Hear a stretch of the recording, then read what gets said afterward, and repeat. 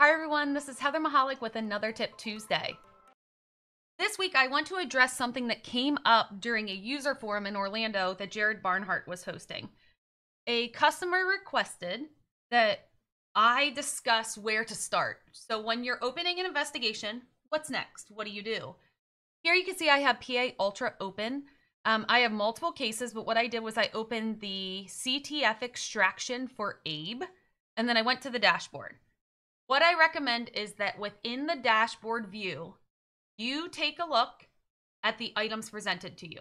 You're going to see 10 most frequent locations, um, device information, messaging, top apps, top Bluetooth connection, all of these 10 searches. So there's many things that you can get within here.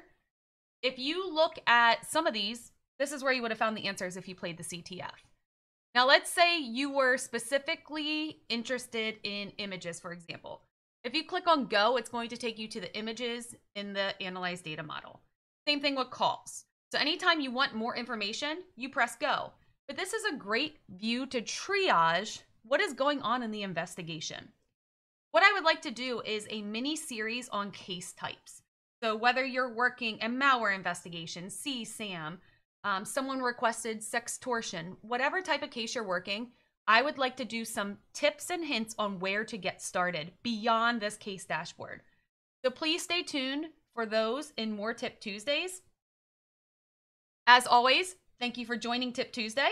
Want more? Subscribe.